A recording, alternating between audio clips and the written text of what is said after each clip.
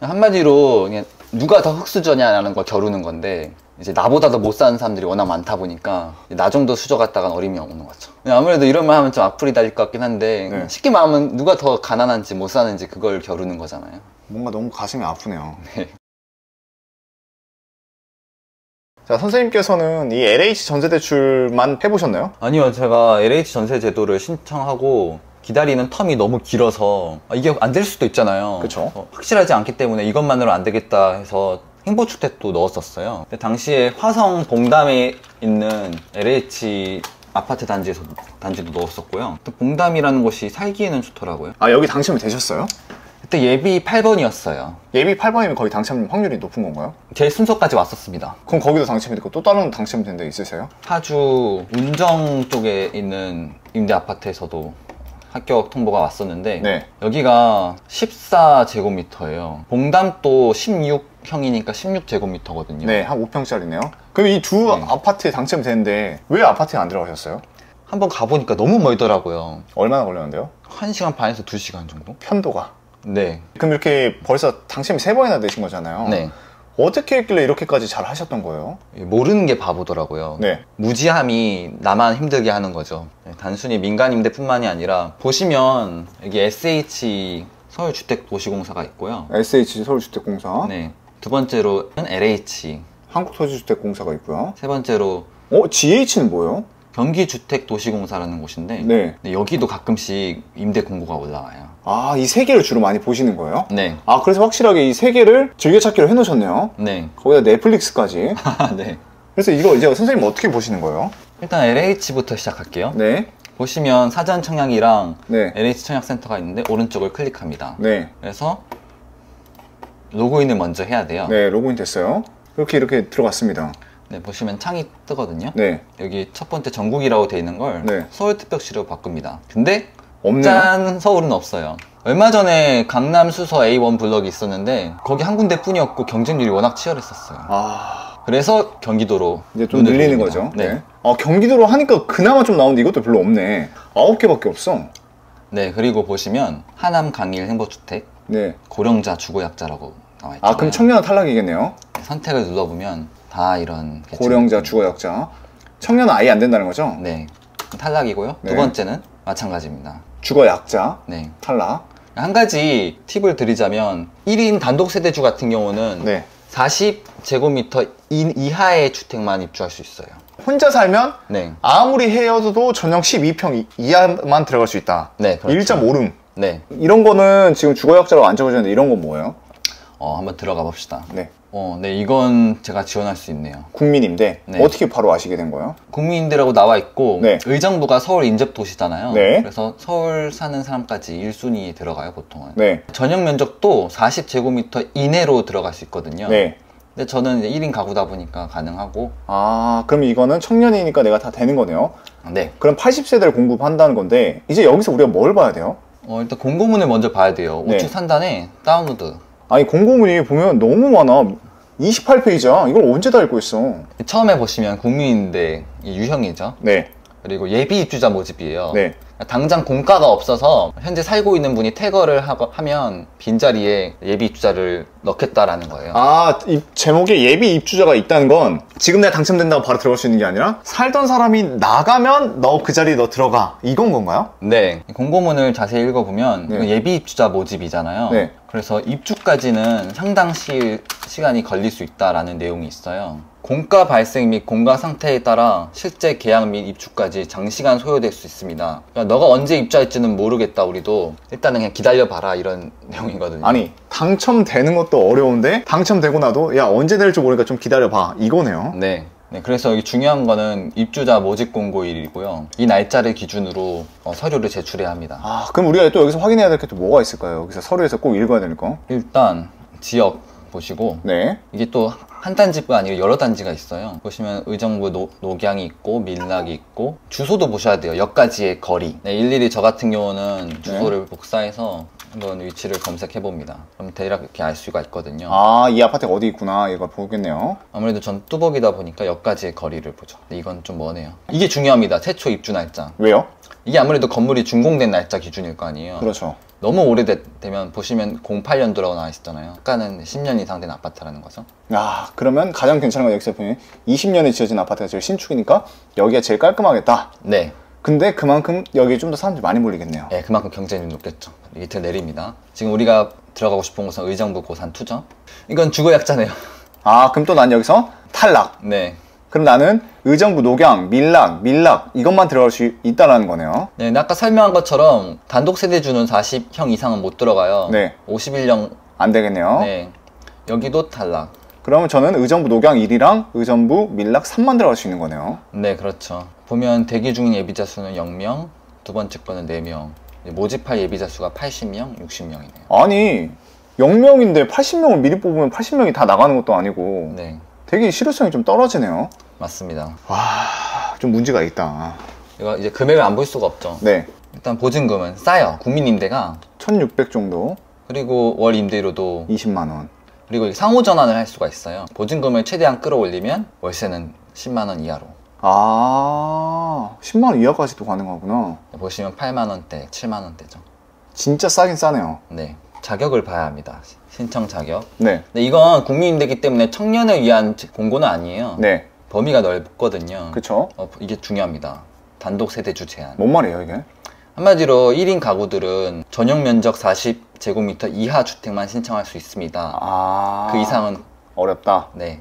청년들은 이걸 봐야죠. 1인 가구 소득 90% 네, 289만. 근데 제 생각에 이 범위 내에 들어가는 사람들이 아마 대다수일 거예요. 세전 기준인가요? 세후 기준인 건가요? 새 뭐. 전입니다.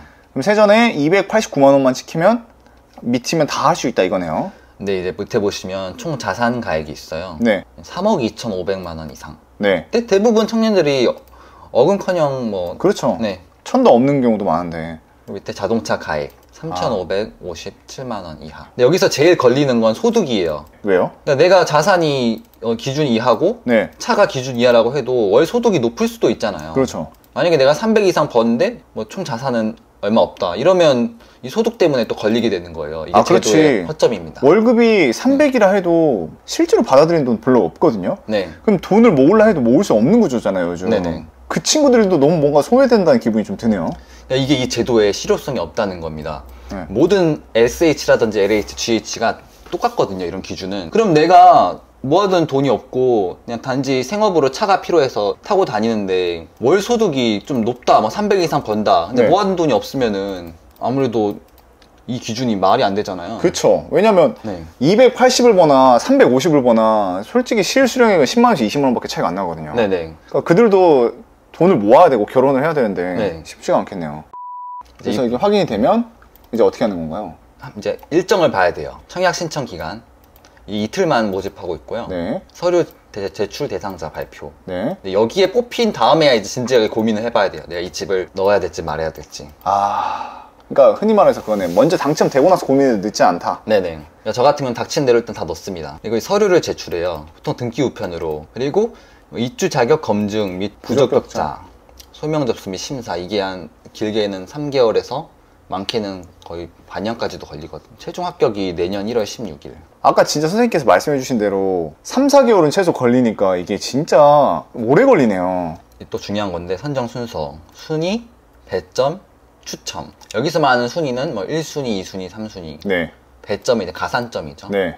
만약에 서로 동일한 순위 배점이면 추첨을 해요. 아, 그러니까 가장 중요한 게 1순위에서 먼저 하고 그 다음에 안 되면 배점으로 가고 그 다음에 안 되면 이제 추첨으로 간다 이건가요? 네. 보시면 의정부잖아요. 네, 의정부랑 인접해 있는 서울은 네, 도봉구랑 노원구 그리고 뭐 양주, 포천, 남양주 네. 이쪽을 1순위로 뽑는다는 거죠.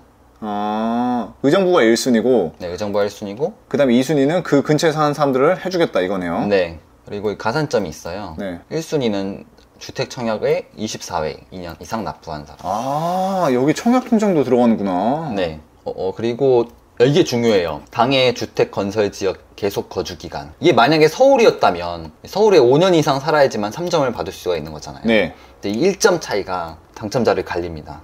그 정도예요? 네. 1점이라도 더 받는 게 중요하고요. 저 같은 경우는 서울 기준으로 2점이잖아요. 그래서 아무래도 제가 탈서울을 할 수 없는 이유 중 하나이고요. 아, 최소 5년 채워야 3점을 다 채울 수 있으니까. 네. 그리고 청약도중은 꼭 들라고 하잖아요. 네. 보시면 61회 이상이 6점이에요. 네. 엄청 큽니다. 아, 저 같은 경우는 5점이고요. 어, 여기서 보면 서류 제출하는 주소 있잖아요. 네네. 이런 건 그냥 우체국 가서 등기 우편으로 보내면 되고요. 네. 보시면 해당 10월 20일 소인분까지 유효가 있고 이 제출 기간이 17일부터 20일까지잖아요. 네. 20일까지만 발송하면 인정해 주겠다라는 뜻이에요. 아, 도착이 아니라 발송으로. 네. 그리고 최종 발표일은 이때. 그럼 이렇게 신청을 하는 거잖아요. 네. 결과는 어디서 나와요? 볼 수 있어요? 보통 인터넷 청약 들어가서 서류 제출 대상자 조회 네, 음. 보시면 얼마 전에 모집했던 강남 수서 역세권 네. 여기가 경쟁률이 아, 정말 볼수 장난 있나요? 아니고요. 저 같은 경우는 떨어졌기 때문에 없지만 이런 네. 식으로 대상자 총 몇 명이요? 이게 총 2,000명입니다. 검색 결과 2,000명. 아, 그러니까 2,000명이 지원을 했다는 거네요? 네. 한 몇 명 뽑았을까요? 이게 제가 알기로는 80명인가? 많이 안 뽑았어요. 80명인가 그 정도 예비 대상자를 뽑은 거죠? 어, 이거는 추가 입주자라서 네. 공가도 있기 때문에 당장 입주하는 사람 예비 입주자 둘 다 뽑았습니다. 그런데 2,000명이 지원을 했다. 네. 진짜 빡세네요. 네. 이런 방법으로 LH에서도 할 수 있고, GH에서도 할 수 있고, SH에서도 똑같은 방식으로 할 수 있는 건가요? 네. SH는 이게 공식 홈페이지인데 청약 시스템이 들어갑니다. 네. 여기가 중요한데요. 보시면 여기 공고들이 떠요. 현재는 신혼부부 위한 전세 임대주택만 모집 중이고요. 얼마 전에 양천구 신정 도시마을이 있었고 재개발 임대주택이 있었고요. 네. 그리고 보시면 세 번째 이렇게 있고요. 저는 이것도 넣었었고 이것도 넣었어요. 결과는 다 떨어졌고. 네. 제가 SH에 10건 넘게 지었는데 단 한 건도 붙지 않았어요. 왜 안 됐다고 보세요? 일단 이게 제도의 허점이라고 해야 되나? 아무래도 기존에 서울에 살고 있던 친구들 있잖아요. 본가가 서울인 친구들, 저처럼 지방에서 온 서- 친구들 똑같이 봐요. 기준이 그냥 단지 서울에 살았던 연수만 보기 때문에 범위가 넓잖아요, 청년들이. 워낙 경쟁률도 그럼 높고 그리고 다들 처음에 말했다시피 서울에 살고 싶어 하기 때문에 네. 서울은 어딜 가나 과밀 지역이라서 그리고 이런 건 청년 주택이 아니라 공공 임대잖아요 그래서 좀 자녀가 있거나 노령자분들도 뽑기 때문에 청년들이 아. 아무래도 그분들을 이길 수가 없죠 그러니까 경쟁 상대가 청년뿐만 아니라 뭐 고령자, 신혼부부, 뭐 부부 뭐 다 들어가다 보니까 경쟁이 더 빡센데 그 중에서도 청년층이 가장 경쟁력이 떨어지기 때문에 청년은 거의 다 탈락이라고 보면 되겠네요. 네, 이런 거는 이 재개발 임대주택 제가 엄청 가고 싶었던 건데요. 네. 들어가서 보면은 가산점이 되게 다양해요. 일단 모집 지역도 전부 다 서울이고요. 보시면 뭐 구로, 마포, 노원 전부 다 아파트거든요. 뭐 DMC, 센트레빌 오, 되게 많다. 공급량이 많으니까 되겠지라고 생각하면 오산이에요. 왜요? 경쟁률이 미쳤습니다. 네. 여기서 유심히 봐야 될 거는 배점 기준이에요. 1순위는 사실 기본이에요. 이순위는 무조건 다 탈락. 네, 그렇죠. 이제 이게 중요하거든요. 여긴 좀 낮아요. 1인 가구 소득 기준이 네. 224만 8,047. 네. 저 같은 경우는 해당돼요. 월 세전 기준인 거죠? 네, 세전으로 가구 수별 가구당 월 평균 소득 50% 이하. 아니 그럼 250만 원 받아도 안 되는 거네요, 무조건 이건. 그쵸. 더 빡센데요? 아, 근데 이 월 소득의 기준이 건강보험공단에서 나오는 월 보수액을 대상으로 합니다. 그래서 건강보험공단 앱도 있고 홈페이지에 들어가서 직장 보험료 조회해서 볼 수 있습니다. 아, 네네네. 보시면 기준이 나와 있고요. 1순위는 기본이기 때문에 가산점을 안 볼 수가 없는데 동일 순위 경쟁 시 입주자 선정 기준. 네. 아까 봤던 강남수서 A1 블럭 같은 경우는 이게 없어요. 네. 그냥 다 추첨이에요. 근데 이거 같은 경우는 가산점이 있어요. 보시면 신청자 나이. 저는 만 30세가 아니기 때문에 1점도 탈락이죠. 못 받네요. 네. 부양 가족수 탈락이죠. 탈락이죠. 이제 서울 연속 거주 기간 제가 이걸 강조한 이유입니다. 5년 이상 3점. 중간에 만 65세 이상 직계 존속. 이것도 의미 없고요. 뭐 미성년자 자- 자녀 수 이것도 아니고 어, 이거 중요하죠. 주택 청약 종합저축 납입 횟수. 그럼 지금 본인이 여기서 가산점 얻을 수 있는 건 4점밖에 없네요. 그렇죠. 서울특별시 연속 거주 기간 2점, 네. 주택 청약 2점. 평균 당첨자들 보면 만점에 비해서 한 1, 2점 낮은 정도예요. 그럼 거기서 경쟁력이 없겠네요, 선생님은. 네. 한마디로 그냥 누가 더 흙수저냐라는 걸 겨루는 건데 이제 나보다 더 못 사는 사람들이 워낙 많다 보니까 나 정도 수저 갔다간 어림이 없는 거죠. 근데 아무래도 이런 말 하면 좀 악플이 달릴 것 같긴 한데 네. 쉽게 말하면 누가 더 가난한지 못 사는지 그걸 겨루는 거잖아요. 뭔가 너무 가슴이 아프네요. 네. 근데 근데 이런 분들이 생각보다 엄청 또 많습니다. 많다. 엄청 많아요. 저는 서류에조차 당첨되지 못하고 떨어졌습니다. 어, 여러분이 LH는 다들 아실 테고 네. 서울 사시는 분들은 SH도 접할 거예요. 네. 근데 GH는 모르는 분들이 많으시더라고요. GH가 뭔데요? 경기주택도시공사라는 곳인데, 아, 경기도에서 하는 거군요. 네. 자, 보실까요? 홈페이지를 보면 네. 이렇게 나와 있고요. 네. 저희가 봐야 될 거는 우측 상단에 있는 청약센터입니다. 모든 신청은 다 청약센터에서 이루어지기 때문에 네. 들어갑니다. 여기는 어, 상대적으로 공고가 적은 편이에요. 아 물건이 별로 안 나오나요? 네. 보시면 청약 공고가 있고 현재는 여기만 모- 모집하고 있잖아요. 다산 신도시만 나왔네요. 네. 근데 여기도 여기? 예비 입주자네요. 네. 위치는 뭐 이렇고요. 여기도 분명히 입주자들이 몰릴 겁니다. 왜요? 위치도 서울이랑 가깝고 네. 집도 신축이고요. 보시면 23년 2월 입주 예정이잖아요. 네. 그러면 내년 이- 한 올해 지금 막 완공됐을 그런 건물이거든요. 네. 그래서 아 누구나 다 살고 싶어 하니까. 네. 이제 뒤로 돌아가서 청약 신청을 누릅니다. 여기서 로그인해서 네. 당장 들어갈 수 있는 곳을 신청하면 되고요. 어, 일단 공고를 보는 게 중요해요. 네. 보면 밑에 있는 건 전부 다 마감됐잖아요. 네. 최근에 국민임대로 남양주 다산신도시 지금 이 한 건만 모집 중이거든요. 근데 조회수가 12,000이네요. 근데 이게 적은 편이에요. 적은 편이라고요? 아까 봤던 SH에서 뭐 청년 매입 임대라던가 그런 재개발 임대주택, 행보주택은 네. 만 단위로 많게는 막 10만도 넘어가거든요. 그 정도예요? 네. 하긴 그런 거 보면 느끼는 게 여기는 보면 33,000이야. 또. 네. 와. 경기도가 이 정도인데 서울은 그 이상이겠죠. 궁금한 게 경쟁률이 얼마나 나오는데 이거 지금 확인 가능할까요? 어, 네. 확인 누르면 이건 8.8이네요. 와, 8.82. 근데 여기는 59형이기 때문에 네. 1인 가구에게는 해당 사항이 없고요. 네. 네요. 평균 네. 5 이상 되네요. 5. 어, 여기는 국민임대인데 경쟁이 5대 1이네요. 네. 100명을 뽑는데 700명이 지원을 했네. 네. 아무래도 국민임대가 네. 행복주택에 비해서 저렴하다 보니까 네. 너나 할 거 없이 그냥 다 넣는 추세인 것 같아요. 국민임대가 확실히 더 많이 넣네요. 네. 와. 선생님은 지금 이거 다산 메트로 여기 있잖아요. 네. 이거 지금 신축이라고 했잖아요, 아까. 네. 지원해 보실 건가요? 네. 어떻게 될 것 같으세요? 아니요. 왜요? 아마도 네. 이 공고를 봤을 때 남양주 거주자들을 우선으로 뽑을 것 같아요. 보시면 배점 기준이 있어요. 네. 1순위 모집 공고일 현재 경기도 남양주시에 거주하는 자. 네. 2순위 경기 광주, 구리, 의정부, 포천, 하남, 가평, 양평. 그리고 서울은 강동 노원. 아, 인접한 곳만 되네요. 3순위는 1순위, 2순위 해당되지 아니한 자잖아요. 네. 그럼 선생님은 지금 마포에 사니까 우선 3순위로 들어갈 거고. 네. 그럼 3순위까지는 안 오겠네요. 제 생각에는 2순위도 가망이 없어요. 왜요? 1순위에 다 끝날 것 같거든요. 남양주가 별내부터 시작해서 엄청 떠오르는 도시잖아요. 네. 그리고 제가 알기로는 청년들도 꽤 많이 사는 걸로 알고 있어요. 네.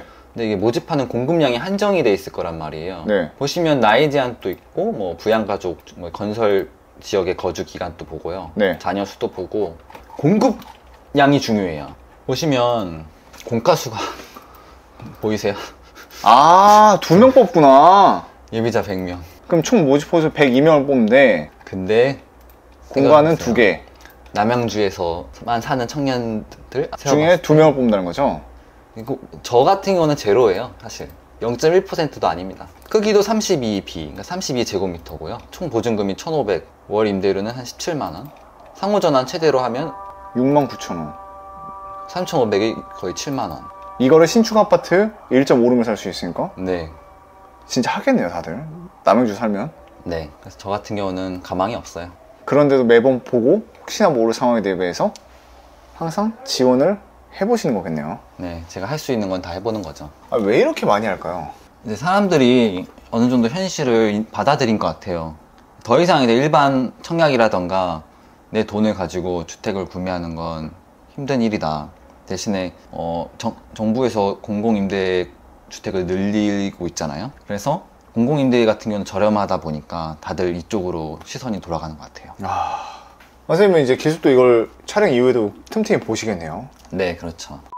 뭐든지 다 무한 경쟁이네요, 이제 이런 거 들어가는 것도. 임대 아파트조차 경쟁이 너무 치열한 것 같아요. 정말 이게 보고 계실 LH, SH, GH 뭐 관계자분들에 대해 정말 실수요자로서 이렇게 좀 하고 싶은 얘기가 뭐 있으세요? 건설 계획을 보면 경기도, 서울 뭐 각종 지역에 청년 주택들을 건설하고 있는데 제가 여러 그 언론사라던가 방송국 뉴스 채널에서 봤어요. 실제로 역세권 청년 주택이 입주를 했는데 얼마 못 살고 퇴실한 사람들도 있고 왜요? 공가들도 있고 이제 그런 곳은 공공임대도 있고 민간임대도 있는 그런 곳인데 아무래도 관리비도 터무니없이 비싸고 저희 형이 있는데 형이 얼마 전에 그 동묘 아벽에 있는 숭인동 청년주택에 살았어요. 근데 거기가 원래 호텔이었다가 정부에서 매입해서 청년주택으로 개조한 곳이거든요. 근데 거기가 관리비가 터무니없이 비쌌어요. 아무래도 호텔이었던 곳이다 보니까 여러 시설들이 있었거든요. 근데 사실 직장인들은 그런 뭐 커뮤니티라던가 뭐 헬스장 이런 게 있으면 좋겠지만 없어도 상관없잖아요. 회사 갔다가 집에 가고 이게 단데 그런 시설 이용료까지 다 지불해야 되다 보니까 너무 부담스러워서 나간 사람들이 꽤 있더라고요. 야, 진짜 어렵겠다. 진짜 청년들 살기 너무 어렵네요. 네. 근데 지금 이렇게 또 노력을 해야 내가 진짜 이렇게 조금이라도 돈을 아끼고 정부에서 지원해주는 세- 주택에 들어갈 수 있습니다, 여러분. 그러니까 이렇게 출연자분께서 말씀해 주신 걸 좀 토대로 해서 조금만이라도 관심을 가지고 본다면 분명히 나한테 기회가 올 수도 있다. 움직이지도 않으면 이 기회조차도 오지 않잖아요. 네. 진짜 꼭 뭔가 당첨이 됐으면 좋겠습니다. 선생님이 지금 이걸 알려줌으로써 또 많은 경쟁자가 생길 텐데 괜찮으실까요? 괜찮습니다. 이게 다 저에게 돌아오는 거 아니, 아니겠어요? 그리고 정말 행복주택이나 국민임대 당첨되시면 그때도 출연 의사 있으세요? 아, 네.